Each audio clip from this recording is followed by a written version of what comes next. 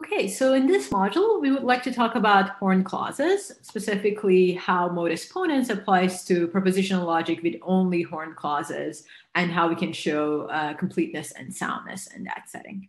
Okay, so to do that, you have to define a few other things. Uh, so let me go back to my definitions here. So here we've been talking about inference rules. We've been talking about modus ponens, derivation and proving, and we've talked about soundness and completeness. You've seen that modus ponens is sound, but it is not complete. And as a way of fixing that, we thought maybe we should restrict our formulas to formulas that are only that only have horn clauses. So we need to define what a horn clause is. And to define define what a horn clause is, we have to define what a definite clause is. So I'm going to define definite clause. And I'm going to define goal clause. And a horn clause is basically a clause that is either a definite clause or a goal clause. I'll define this in a setting in, in a second. Okay, so so that's just back here. So what is a definite clause? A definite clause is a clause that has the following form. So you have P1 ANDed through PK implying Q. Okay, so that is a definite clause. Okay, so where P1 through PK and Q are propositional symbols. Notice that just one thing I want to mention is K could be zero too. So you could have almost like true implies Q. So you would end up with just Q.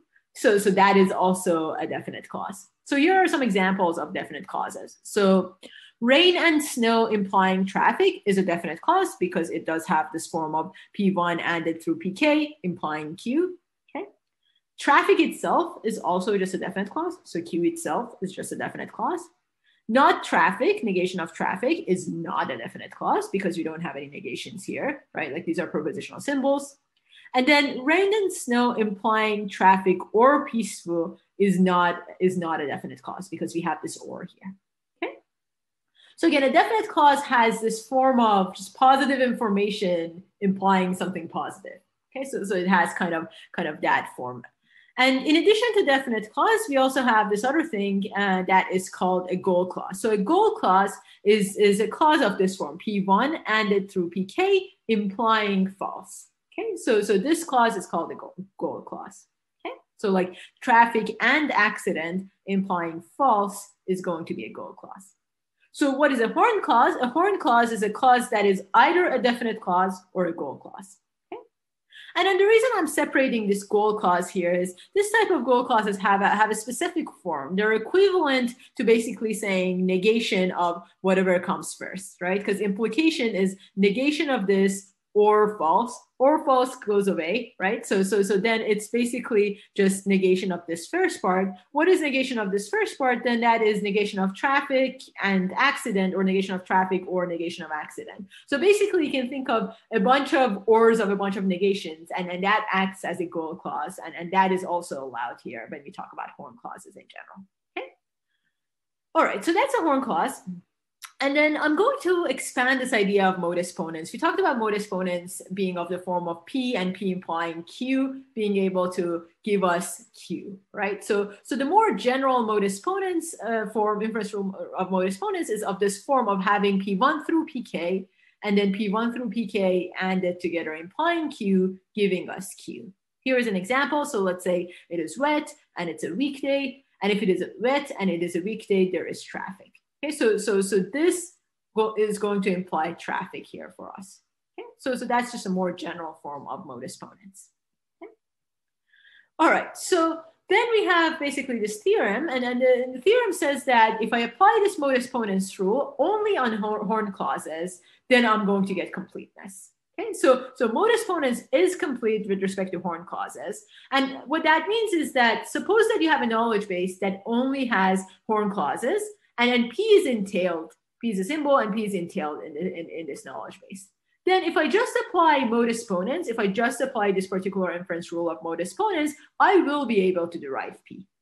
And, and that's pretty nice because in general, if you ask me, like remember the ask and tell operators, if you ask me is P true, you're really asking me if P is entailed in KB. And instead of me doing something of the form of model checking and satisfy, uh, satisfiability and things of those form that, that we have talked about, instead of me doing like all of that and trying to figure out if this model really like entails P or not, then what I can do is I can basically do symbol manipulation. I can basically just apply modus ponens on my knowledge base and see if I can derive it like syntactically or not. And then if I can, then then then this derivation and entailment are equivalent, right? Like if I can derive this based on syntax and based on modus ponens, then I would be able to say that the knowledge base also entails P.